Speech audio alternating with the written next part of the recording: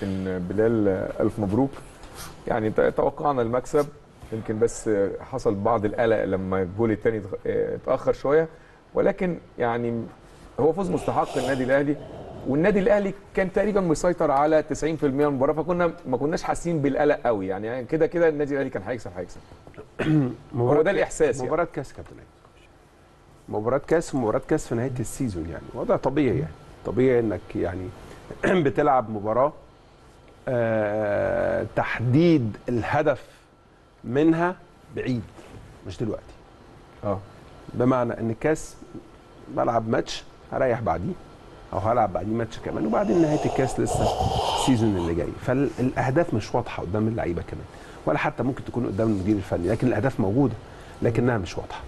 مباراة كاس تحتمل كل شيء يعني. تحتمل إنك تأدي و تبقى bad luck تحتمل إنك أنت في نهاية ال season بتبقى أنت برضو يعني الطاقة بتاعتك الك- الكبيرة مش موجودة ال goals اللي بتشتغل عليها يعني أعتقد شبه انتهت. تمام؟ بالنسبة لك أنت كمدير فني وكلعيبة. آه ف لكن حتى- بتلعب حتى باسمك. لو بالظبط. ما أنا بقول لك يعني بتلعب باسمك باسم النادي الأهلي. أيوة. بتلعب بتاريخك بتلعب بإمكانياتك وقدراتك. فروق إمكانيات طبعا كبيرة جدا ما بين الأهلي وما بين مع احترامنا طبعا لفريق الداخلية لكن فروق إمكانيات في الملعب كواليتي مختلفة بين اللعيبة واللعيبة. يعني ال ال ال الأهداف مختلفة ما بين الفرقة والفرقة ما بين النادي والنادي. كل شيء مختلف في الملعب.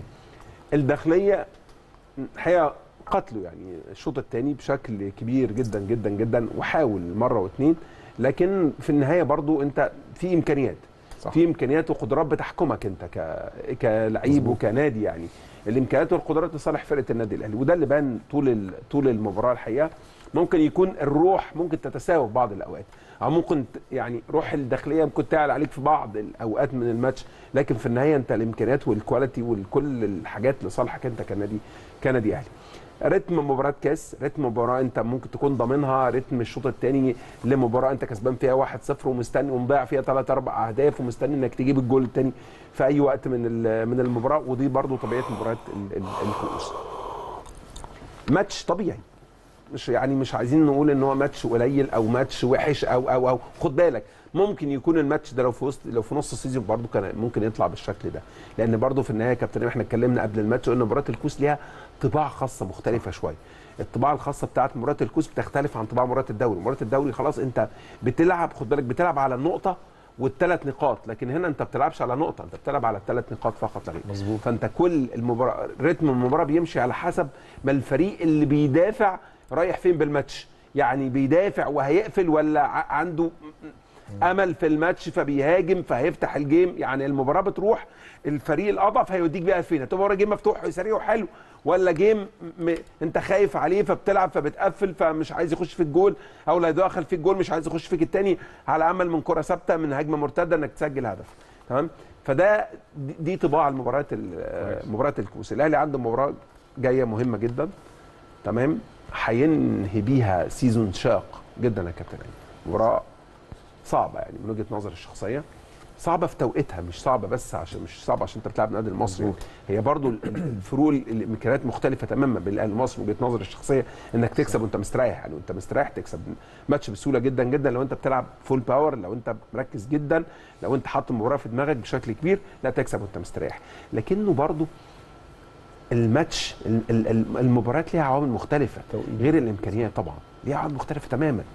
إزاي أنت كمدير فني هتقعد مع اللعيبة وتحط فيهم يعني الروح القتالية لمباراة أنت بتنهي- بيها season خد بالك أنت لو الماتش ده بعديه semi final كمان ممكن تكون عارف اللعيبة من نفسها ممكن تطلع يبقى عندها حوافز. أيوة. تمام؟ هتقدر تعلي عندهم ال motivation يعني أنت خد بالك لكن أنت النهارده مش يعني ماتش وهتريح بعديه. أيوة. تمام؟ أيوة. هل أنت هينتابك انتقاد لو لا قدر خسرت ال- الماتش ده؟ ما أعتقدش.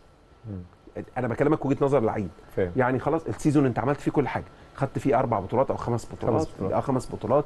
عملت season يعني رائع جدا جدا جدا perfect يعني كل حاجة 100% فبالتالي أنت لازم تصحي الدوافع عند اللعيبة في الماتش اللي جاي. مش هتصحي عندهم ال quality مش هتصحي عندهم الإمكانيات. فيها صعوبات في التوقيت طبعا التوقيت ده. طبعا. صعوبات شديد كبيرة جدا يا. كابتن كبيرة جدا يعني النهارده على سبيل المثال ال- ال quality موجودة موجودة لكن ال- الدوافع موجودة لا تحس إن ال- ال- ال- ال- الفرقة بتلعب على قد الماتش أيوة. على قد الإمكانيات اللي موجودة على قد نهاية السيزون خلاص أنا. أنا خلاص أنا وصلت. خلاص لل peak أيوة بالظبط. وخلاص. وقفت الناحية شوية فمحتاج أنزل شوية تحت تمام. آه بالظبط عشان أيوة. خاطر أبتدي season جديد, بدوافع مختلفة جديده. فاللعب من آه، كولر هيبقى هيشتغل على التحفيز. هحفزك إزاي؟ هقوم دي عندك إزاي أثناء قبل الماتش؟ خد بالك وأثناء الجيم كمان. ممكن أفضل احفز فيك قبل فتنزل المباراه أول 10 دقائق تكسر الدنيا بعد كده تنزل تاني. نفسه. طبعا. صح. في دور كمان عند اللعيبة الكبيرة في الملعب الماتش. اللي جاي. طبعا. أنت النهارده لو طلعت إن شاء الله بإذن الله وأنت قادر الأهلي طبعا تعملها بشكل بإذن الله. يعني وبنسبة كبيرة جدا. لو طلعت كسبان المباراة اللي جاية يبقى أنت حققت 100% من ال season. صحيح. مش مش 99% أنت حققت 100 100% من ال season. أيوه. كأس مصر الأولاني أنت كسبت السوبر كسبت إفريقيا كسبت الدوري كسبت كأس تاني أعتقد كسبت. كسبت. تمام؟ رايح لل semi final. تبقى رايح لل semi final بتاع ال- ال season اللي أنت بتشتغل عليه يبقى أنت عملت نتيجة ال 100% من ال season كله وده إنجاز تاريخي صح. تاريخي للنادي الأهلي. وهو والأهلي معروف بالتاريخ. فدي هتعتمد على المدير الفني. إزاي هيشتغل مع اللعيبة؟ هتعتمد على اللعيبه الكبار برضو كمان في الملعب. الش- وهم كلهم لعيبة كبيرة. كلهم عندهم خبرات في في ال- في المباريات اللي زي كده وفي التوقيت اللي زي كده. الشناوي كابتن الفرقة آه، موجود مجدي قفشة موجود رامي ربيعه أنا بكلمك ناس كبيره علي معلول. طبعا محمد هاني مجدي قفشة. لعيبة عندها خبرات وعندها قدرات عقلية جيدة. تمام؟ أنا أنا الحاجة اللي عايز اقولها في نهايه ليهم دور ده ليهم دور. آه آه، طبعا لهم دور كبير جدا جدا. يا. كابتن ايمن لكن الحاجة اللي عايز أقول عليها إن أو أو التحية بالنسبة لي لكولر إنه قدر يخرج إمكانيات اللي موجودة عند اللعيبة اللي موجودة في الملعب. طبعا. إحنا ال season اللي فات يا جماعة كنا كل الناس في الملعب بتقول لك الأهلي محتاج 11 لعيب. صح؟ أيوة. قبل ما يبتدي ال season اللي فات. كنا بنقول الأهلي محتاج 11 لعيب في كل مكان محتاج لعيب. النهارده أعتقد إنك وصلنا بنقول إن الأهلي ممكن ما يستعينش أو ممكن بالكتير قوي يجيب لعيب واحد أو اتنين تمام؟ أو يتعاقد مع لعيب أو اتنين. تقريبا يعني ممكن توصل للحتة دي. فالنهاردة لا أنت وصلت يعني هي الموضوع هل الموضوع يتلخص في قدرات لمدير فني؟ آه في بعض الأوقات يتلخص في قدرات المدير الفني. وبعض القرارات. يعني انت اتكلمت. برضو على القرار اللي اتاخد في بداية آه الموسم طبعا آه طبعا. في نهاية الموسم اتكلمنا ما بين الشوطين. بالظبط قلنا طبعا قلنا إن طبعا جيدة من, جداً. من الحكمة مظبوط. طبعا ال ال ال هي دي هي دي فكرة الإدارة يا كابتن. أيوة. أنت بتدير المنظومة. أنت شايف إيه؟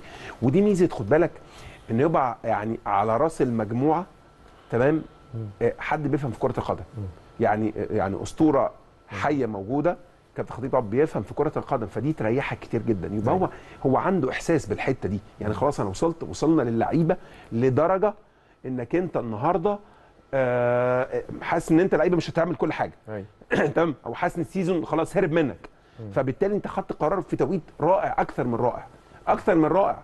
بتيجي على مدير فني جديد بداية season جديد صح. عندك وقت للراحة عندك وقت لفترة إعداد تقدر تحكم على المدير الفني بشكل كويس تقدر كمان تقيم اللعيبة بشكل كويس. في مع بداية season جاي مع بداية season جاي, جاي بالنسبة لك. أيوة. فده اللي عملته إدارة النادي الأهلي حفاظا على المجموعة اللي موجودة في الحتة دي. لأن إحنا زي ما بقول لك يعني يعني كل الناس عايزين back left و back right ونص ملعب ولاعيب ومش عارف إيه و midfielders ومش وراس حربة ونج... إيه إيه عايزين فرقة كاملة. أمال إيه ك- ك- كمية اللعيبة اللي موجودة دي؟